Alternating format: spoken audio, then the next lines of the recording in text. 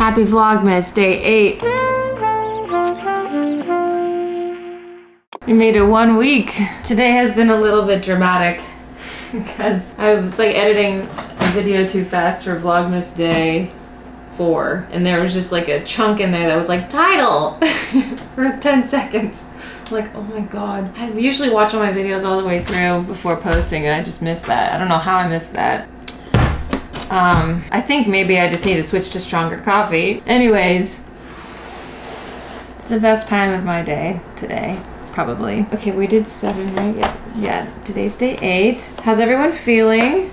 How's it going? We're well into December now. We have a oh shoot, Snickers. Let's give it a try.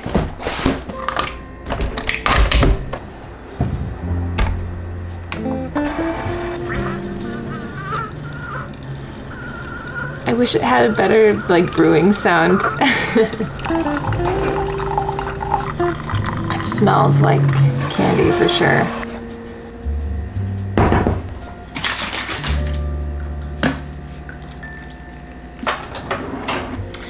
I'll be honest, I don't know how I feel about this whole daily vlogging thing. It's kind of a lot. It's a lot of work. It's a lot of filming when I wouldn't normally film. Even just like every single morning getting my coffee. It's getting, giving me a lot of structure and that's really nice, but it's more challenging than I thought for sure. Oh, I know exactly who I'm gonna shout out today. Des Moines Yoga, 1976, uh, 100%. She also feels kind of like an online mom to me. Her comments are just very thoughtful. Like she'll bring up things that happened in other videos and ask how I'm doing with that. And I'll put up the comment where I was putting up my Christmas tree. Like your tree is awesome. What, what matters is what you think about it. And I'm like, yeah, that's so true. It doesn't matter what anyone else thinks, even though my life is kind of online at the moment. So, Des Moines Yoga 1976. if you're watching this, just wanted to say thank you for being here and for all your support. And I feel your good vibes and I'm sending them right back to you. Do you feel it? Do you feel the good vibes? So thank you. I appreciate it. What is on the docket for today? Today, I'm going to be figuring out what to get my friends and family for the holidays. I feel like my favorite gifts are ones that are really just thoughtful. You don't have to spend money on them. Last, actually, hold on, I have a perfect example. Last year for Christmas, my grandma, who is like very old by the way, painted me this. When I was a kid, she would give me little painting lessons when I went over to visit her at her house. I mean, she's just so naturally good. Because she's very old, like every Christmas is a gift at this point and so just having something to hold on to that she did and that she was like thinking of me when she did those are the things that i really like. So i want to get something for my friends and family that they're actually going to enjoy. It's december 8th I have to have things here before the 20th, I think, because that's um, around the time I'm heading to Oregon for the holidays. But this is my little secret tip to getting my family's presents to them when they live in a different state than I do. I buy the bigger presents online and then I mail them directly to my mom's house and then they know if it's addressed to me, then don't open it because then when I get there, then I wrap it and I don't have to carry it in a checked luggage bag. That's really the only hack I have for you because I'm I'm very last minute with gifts. Sometimes you just don't know what people people say they don't want anything, but then they actually do. So you want to get something that's like useful to them, but also maybe something that they wouldn't normally buy themselves. It's like, oh my gosh.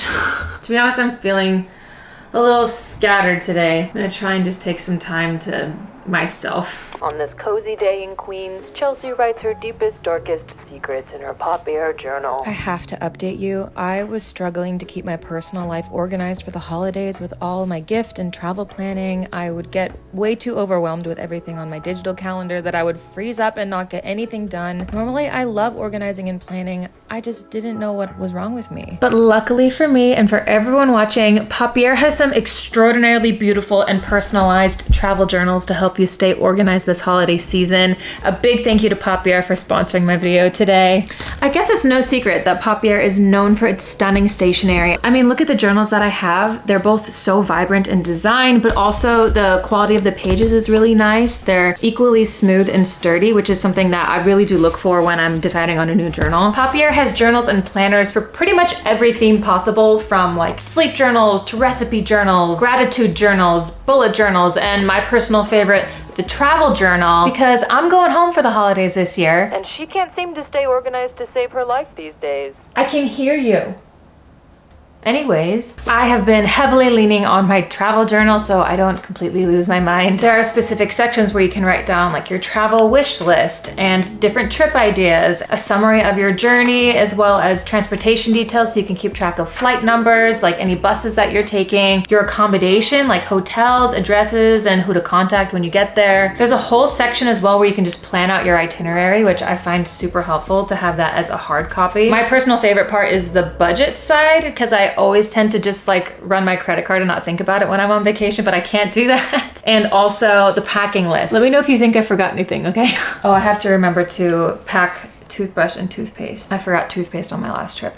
This travel journal really has it all. Like you're not gonna miss any details in your trip. It doesn't leave anything up to chance and it has it all in one place. My travel journal is personalized with my name obviously, but you can put the name of whoever you're gifting this to as a really cute and personalized touch for a gift. Details like that really do go a long way. You can also choose from a bunch of different unique covers depending on your personal style or the person you're gifting this to and their style. It took me forever to decide which ones I wanted because there're just so many cute ones on their website. I remember seeing one that had tigers on it and there's also one with parakeets. Like what?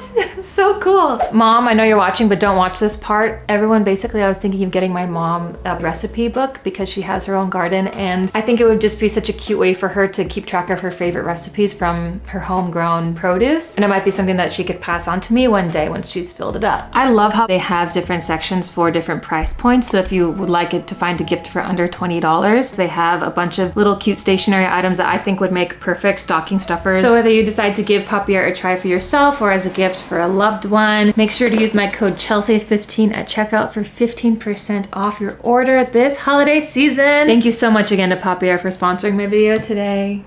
Okay, so this lighting sucks.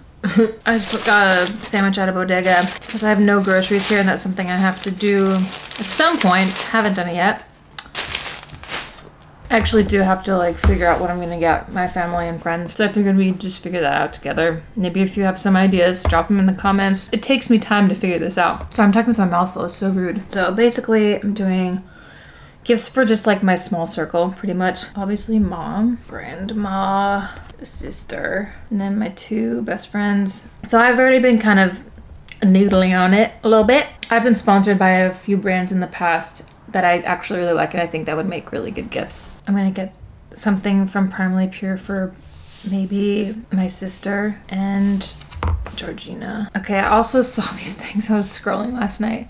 I saw these items, soup cubes. You cook your homemade soup and then you freeze them into cubes per portion. So then if you reheat it for like yourself and someone else, then you can just push out this frozen soup like ice cubes in the silicone containers and then reheat it that way. I think that's really cute. I don't know if my sister has any of that, but she makes her own soups and stuff. So I was thinking about that. I'm definitely going to be gifting some Papier notebooks, depending on what type of notebook I think my friends would like. Last year I actually got my sister um, a projector from Amazon because she likes to watch movies and like you can put it by your bed and then look up and then there's the movie there, which I think makes so much sense to have it on the ceiling. It's like better for the neck if you can just lay down and watch it, you know? It's good on the back too. And then I got my mom a friendship lamp because you know, my family lives in Oregon. It's connected to Wi-Fi and through an app. And so she has a lamp, I have a lamp. And then when either of us touch it, it changes the colors for both. So it's a way to let each other know that we're like thinking of them. It gives a sense of like that I'm there with her even though I'm not. She did really like that. But other than that, I just kind of like go on Amazon and scroll and, see something creative and then I go for it. But I do like more personalized gifts for sure. Okay, first let's go to Primarily Pure, their website. Oh, a candle trio is cute. I still freaking love their deodorant. Okay, so let's see. Bestsellers. They had a Black Friday sale too that I missed and I'm really mad at myself for missing that. Lip balm. This could be cute. Starter kit. Body butter. Body butter's a cute idea actually. Four ounces, that's not that much, but I might do that for Georgina. I'm writing it down. if I don't do this for my best friend, I'll give this to my sister. Have that in the cart. And then I think my mom would like this. Christmas shopping is expensive expensive. So I'm gonna pay for this. Honestly, it's kind of game over for me once I memorize the security code on my credit card because if I have to get up to get my credit card to input the information, I probably won't buy it because I'm that lazy. And now when I remember it, then it's just like I can't I can't keep doing that. Okay, so I ordered those. I'm gonna go to Papier's website. Recipe journal. What's this one? This is cute. Oh yeah, I like spiral covers for recipe books because you can lay it flat and it's easier to to write. I think that would be best for my mom. That's really cute. Yeah, of course I'm gonna personalize it. favorite recipes maybe? Maybe homegrown recipes. Oh no, I can do like seasonal recipes. Great. I think I might do this for my friend Julie as well, but she also travels a lot too. Should I get her a travel notebook?